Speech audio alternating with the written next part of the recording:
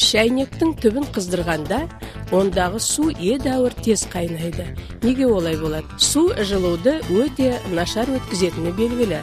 Зерттеу жүргізейік. Суы бар колбаға бояу зат мысалы калий перманганатын немесе марганцовка салайық.